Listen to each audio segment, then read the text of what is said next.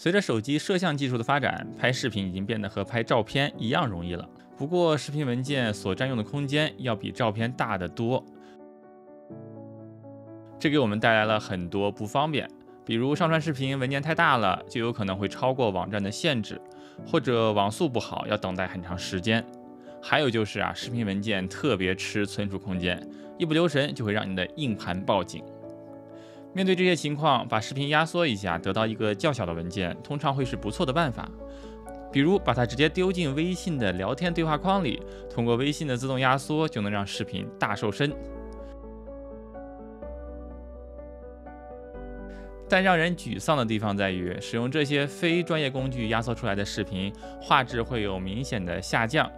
很多人之所以对视频压缩感到头疼，就是因为他们既要明显的降低文件大小。又要肉眼看不出来画质的下降。本期视频呢，就是围绕这个主题来和大家分享一下可行的操作方法。压缩视频主要从三个方面下手，即分辨率、帧率和码率。分辨率大家都很熟悉了，同样一个视频，4K 分辨率肯定比 1080P 分辨率的文件要大。把分辨率改小，视频文件的体积自然也就跟着小了。不过很多时候，我们拿到手的视频就已经是 1080P，甚至是 720P 了。再往下调整分辨率，必然会影响到视频在不同设备上的播放清晰度，所以通过调整分辨率来减少视频体积，可操作的空间并不多。接着来看帧率，视频是由一张张画面交替出现组成的，一秒钟出现六十个画面的视频就是六十帧，出现三十个画面的视频就是三十帧。如果把六十帧的视频去掉一半的画面，变成三十帧，那视频的体积肯定会减少。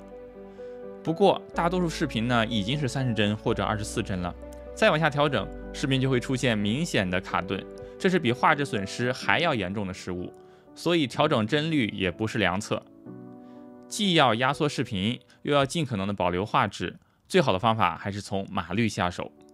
相比经常看到的分辨率和帧率，系统并不会直观的展现码率数据，往往需要打开视频后，通过播放器才能看到码率信息。它们还有各种不同的叫法，比如数据速率或者比特率。正是因为这些原因，很多朋友对码率这个参数还是非常陌生的。通常来说，视频的码率越高，画质就越好。但是如果码率超出了一定的值，画质虽然也会提升，效果呢就没那么明显了。比如，这是我用系统自带的屏幕录制获得的一段录屏文件，码率是七十四兆 bps。现在呢，我将它的码率降低到初始的四分之一，也就是十八点五兆 bps，文件体积也跟着变成了之前的四分之一。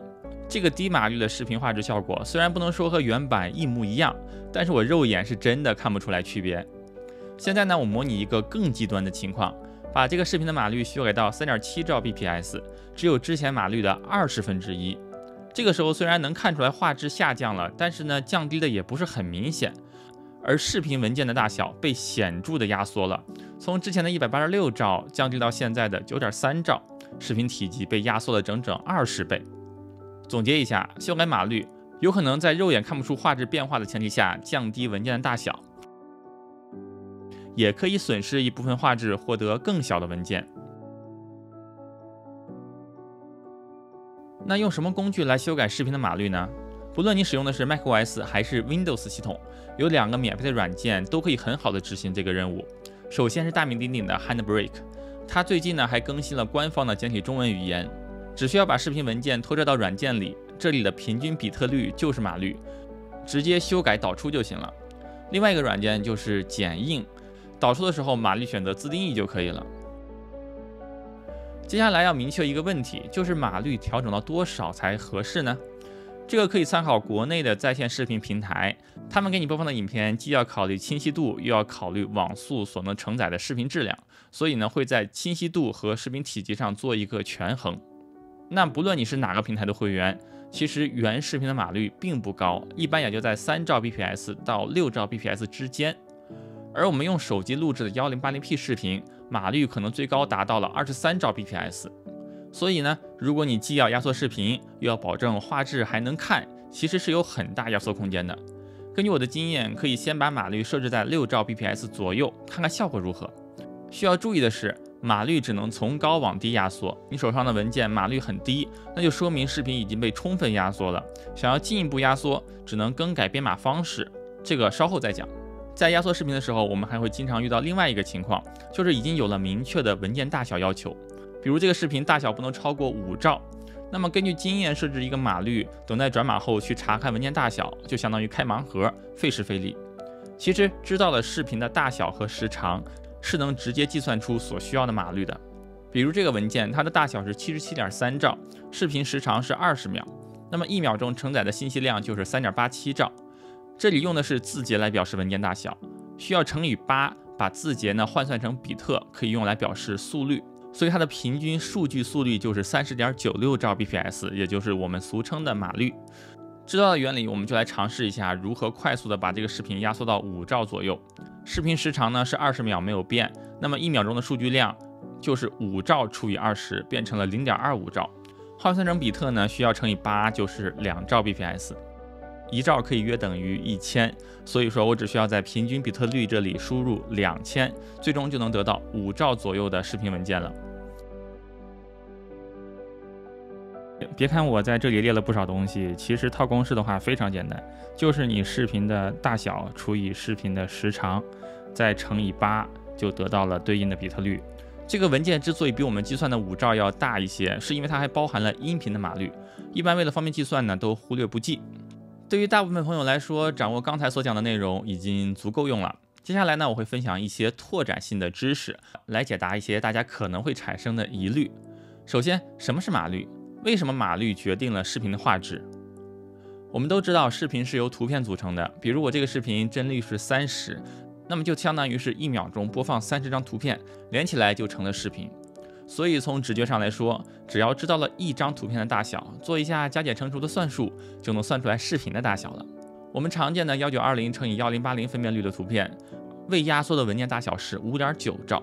比如啊，在 Photoshop 中创建一个幺九二零乘以幺零八零分辨率的项目，占用的初始内存空间刚好就是五点九兆。有兴趣的朋友可以暂停研究一下我列出来的这个计算公式。那么三十张这样的照片加起来。组成一秒钟的幺零八零 P 分辨率的视频，大小是一百七十七兆。这里出现了两个反直觉的地方。首先，我们接收到的幺九二零乘以幺零八零分辨率的图片，文件体积要远远小于五点九兆，可能连一兆都没有。这是因为图片都被压缩过。以最常见的 JPEG 编码为例，它并没有把图片的每一个像素都记录下来，而是只记录了一些关键的像素信息，剩下的像素内容只是用算法做个标记。比如大块的纯色区域，没有必要浪费空间去存储，到时候重新计算出来就好了。这样就大大压缩了图片的体积。第二个反直觉的地方在于，这一秒钟的幺零八零 P 视频文件也未免太大了，要一百七十七兆。即使把它全部改成压缩过的图片，按照每张图片压缩后只有一兆好了，九十分钟的电影也要占用一百六十二 GB 的空间，和我们平时接触的只有几百兆的电影文件体积完全不一样。刚才我们讲过，利用 JPEG 编码对图片内有规律的像素进行了压缩，而视频呢也是类似的原理。对于场景内变化不大的视频画面，它只存储了关键的图片，其他帧的图片呢都是实时演算出来的，并没有存储下来。也就是说，一秒视频里面所包含的三十张图片，可能只有三张左右是完整的，其他图片呢都是用算法填充进去的。那么，初列算下来可以压缩十倍左右的大小。正是因为视频算法的协助。才把视频的体积压缩到了我们可以接受的程度。所以回到刚才提出的问题，什么是码率？码率就是单位时间内视频里所包含的数据信息，码率高就代表视频里面给算法还原的关键图片数量多，图片的质量好，相应的就是视频的质量好，文件也会更大。